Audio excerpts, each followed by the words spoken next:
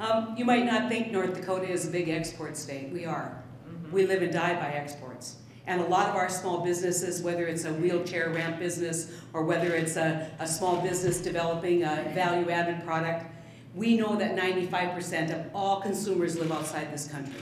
We just went through an extended debate with a lot of pontificating on the floor about exports, a lot about trade, and then we take one of the most critical trade tools, export tools, and we put it in limbo and jeopardy. And we kick the can down the road and don't give certainty to American businesses. We already have people here who are losing business today, losing business because of the monkey business that's going on in the United States Senate and in this Congress. It is time that we step up and start talking about the real life consequences of what's going on here. We spent um, an interesting uh, two hours in the banking committee yesterday. We had our first hearing on the Ex-Im Bank, um, basically talking about oversight, not a hearing on the Kirk Heitkamp bill.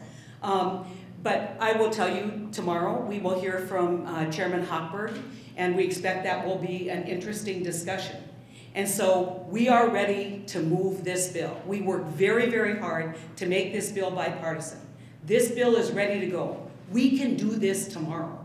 We can give Stephen, the uh, 100% disabled vet, the certainty his business needs tomorrow if we have the political will. The real, the real thing that's going on here is most people know we need to reauthorize the Ex-Im Bank.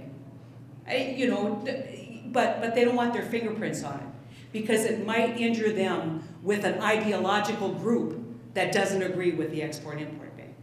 And so it is time that people step up. They step up for American jobs.